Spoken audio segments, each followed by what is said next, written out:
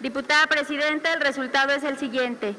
351 votos en pro, 0 abstenciones y 0 votos en contra. Aprobado en lo general y en lo particular por 351 votos el proyecto de decreto por el que se adiciona una fracción décimo cuarta al artículo 7 y se adiciona los artículos 64 ter y 64 cuater a la Ley General de Responsabilidades Administrativas. Pasa al Senado de la República para sus efectos constitucionales. No olvides suscribirte y seguirnos en nuestras redes sociales. Cámara de Diputados.